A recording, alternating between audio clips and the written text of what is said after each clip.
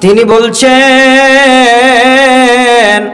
পাঁচ পাঁচ প্রকারের মানুষ সেদিন আল্লাহর হি, আল্লাহর হিসাবের বাইরে সেদিন পা ওঠাতে পারবে না। পাঁচটা জিনিসের এত এত গুরুত্ব আল্লাহ রসুল বলেছেন যে পাঁচটা জিনিসের হিসাব না দেওয়া পর্যন্ত কামতের দিবসে আপনার পা উঠবে না। আপনি মাল পেয়েছেন তো আল্লাহকে ভুলে গেছেন? সন্তান সন্ততি পেয়েছেন, আল্লাহকে ভুলে গেছেন? আল্লাহ আকবার, সেই তিন শ্রেণির লোকের কথা কে না জানে? তিনটে লোককে আল্লাহ পাক রব্বুল আলমিন পরীক্ষা করলেন। একজন কানা বন্ধ ব্যক্তি, আর একজন হলো শ্বেত রোগী, আর একজন আর একজন অন্ধ ব্যক্তি। আল্লাহ পাক রব্বুল আলমিন তিন ব্যক্তিকে পরীক্ষা করল। একটা শ্বেত রোগী, একটা টেকো মাথা, যার মাথায় চুল নাই, আর একজন হলো কানা বন্ধ মানুষ। শ্বেত রুগীর কাছে বেরেস্তা গেল। যাওয়ার পরে গিয়ে বলল তোমার কি দরকার? বলে, আমার এই যে সাদা চামড়া দেখছেন এই সাদা চামড়া এখানে দেন, আমাকে দেন। সাদা চামড়া যেন আমার কালো হয়ে যায়, মানুষের যেরকম চামড়া থাকে, সেই চামড়া যেন আমার হয়ে যায়, তাহলে আমি খুশি, তাহলে আমি আনন্দিত। ভালো করে শুনেন। জানা আছে আপনাদের হাদিসটা, তবু আমি বলছি মানে আমার মাজমুমের সঙ্গে এটা তার লোক আছে। বলে, তারপরে কি দরকার? বলে, আমার, তারপরে আমার একটা ছাগল দরকার। যে ছাগলটা আমি পালতে পারব, পেলে পেলে পেলে পেলে বড় হবে ওর বাচ্চা হবে, আমি অনেক কিছু বাড়াবো, এই করে করে করে করে অনেক কিছু হবে। আল্লাহ পাক রব্বুল আলমিনের সেই ফেরেস্তা তাকে সে জিনিসটা দেওয়া হলো, দেওয়ার পরে তার মালের জন্য বরকতের দোয়া করে দিয়ে চলে গেল। অন্ধ ব্যক্তি আপনার টেকো মাথার কাছে, টেকো মাথাকে গিয়ে বলছে, ভাই, তোমার কি দরকার? বলে, আমার মাথায় চুল গজাক যাতে আমাকে লোকেরা সবাই ঠাট্টা করে, ওই টাক মাথা ওই টাক মাথা করে আমাকে যেমন ই করে, তাচ্ছিল্য ভাব করে, অতএব আটা যেন, এটা যেন আমার না হয়, আর আমার একটা গরু দরকার। গরু তাকে দিয়ে দেওয়া হলো, উঁট তাকে দিয়ে দেওয়া হলো। কানা ব্যক্তির কাছে গিয়ে বলছে, তোমার কি দরকার?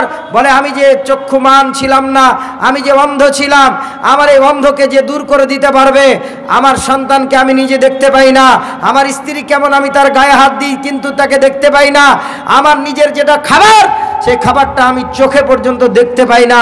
ওজন্য আমার দরকার সুন্দর একটা ভালো চোখ, সুন্দর ভালো চোখ, দৃষ্টিশক্তি আর আমার একটা গাভীন গরু দরকার। তিনজনার মালে তিনজনের মালে ফেরেস্তা বরকাতাম দোয়া করে দিয়ে চলে গেল। এবার পরীক্ষার পালা। বলো তোমরা মালধন পে। লা ওয়ালা আমার, আব্বা জানেন আমার। সেদিন কি হলো জানেন? টেকো মাথার কাছে গিয়ে যখন বলল ভাই রে তোকে আমি ছাগল, তোমাকে যে আল্লাহ ছাগল দিয়েছেন এতগুলো, একটা ছাগল দাও। ছাগল নিবি মানে? ছাগল নিবি মানে? ছাগল আমি কষ্ট করে তৈরি করেছি। আর তুমি ছাগল নেবে মানে? যাও এখান থেকে। ছাগল চাইতেছে যে, ছাগল আমি তৈরি করেছি, আমি নিজে কষ্ট করে ছাগলের ঘাস খাইয়েছি, অমক করেছি, তমক করেছি, আর তুমি ছাগল চাইতে চাইতেছে মানে? যাও এখান থেকে, যাও। ফেরেস্তা সেখান থেকে অপমান হয়ে ঘুরে চলে আসলো, তাকে লানতের দোয়া দিয়ে আসলো। যদি তুমি মিথ্যা বলো, আল্লাহরে ফল পেয়ে, আল্লাহরে ফসল পেয়ে, আল্লাহরে দেনান্দারি পেয়ে, তুমি যদি ভুলে গিয়ে থাকো, তাহলে আল্লাহ যেমন যা তুমি ছিলে, তেমনই যেন তোমার হয়ে যায়। সে রোগীর কাছে গিয়ে অনুরূপ ভাবে লোকটি বলল ভাই রে তুমি আমাকে একটা উটের বাচ্চা দাও, বলল, না না, দেওয়া যাবে না। এগুলো আমার অনেক পরিশ্রমের ফল, এগুলো আমি দিতে পারব না। বলে, তুমি সেই শ্বেতরোগী ছিলে না? তোমার মাথায় গায়ে সব ফুল পড়া ছিল। বলে, না, এটা নয়। আমি ওই রকম ছিলাম না, আমি এগুলো কষ্টের মাল পেয়েছি। ওকে কি করল? অস্বীকার যখন করল, মহান আল্লাহ পাক রব্বুল আলমিনের ফেরেস্তা তার জন্য বরকতের দোয়ার পরিবর্তে বাদ্দাতান দোয়া করে দিল। অন্ধ ব্যক্তির কাছে গিয়েছে। খুব শটে বলছি আমি, অন্ধ ব্যক্তির কাছে গিয়ে বলছে, ভাই, তোমাকে যে গরুটি দান করা হয়েছিল, এই গরু থেকে অনেকগুলো বাচ্চা হয়েছে, তাহলে তুমি আজকে ওখান থেকে গরু দাও। যার চোখ নাই, সেই বুঝে কতটা যন্ত্রণা।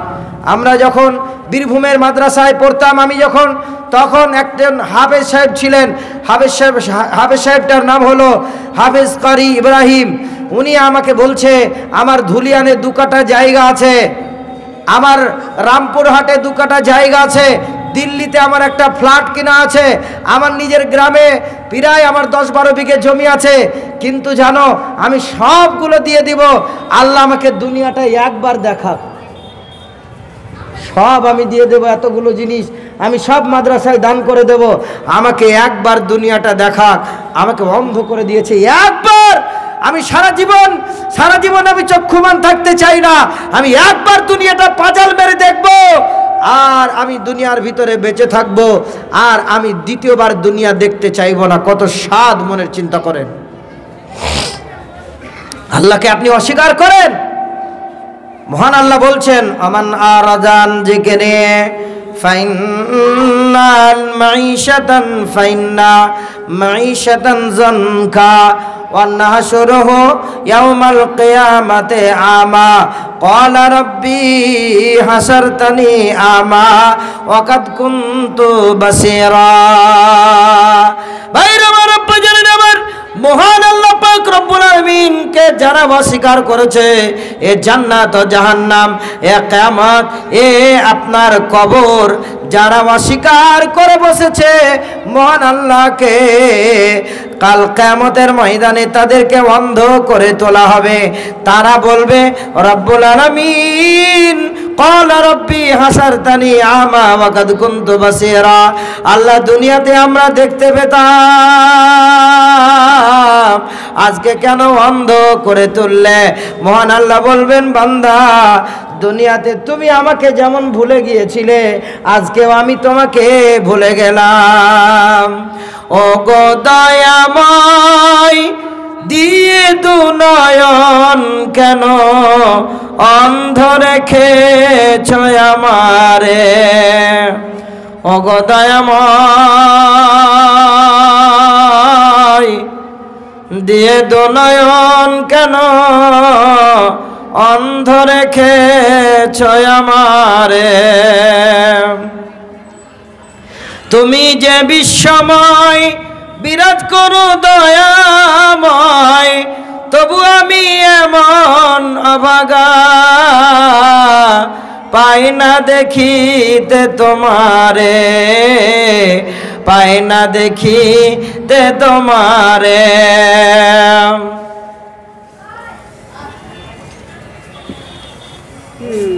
আফসোস করে তারা বলতে থাকবে, রব পারবার দিকার আলাম, নয়ন যদি দিলে তবে করো সেই দৃষ্টি দান পাই যেন তোমার দেখা জুড়তে মনোপ্রাণ।